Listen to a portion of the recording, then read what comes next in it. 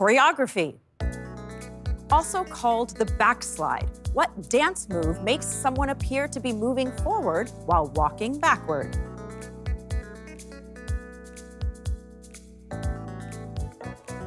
For 200 points, the correct answer is the moonwalk. Challengers, how'd we do?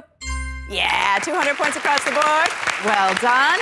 And for our masterminds, the same over here. Well done.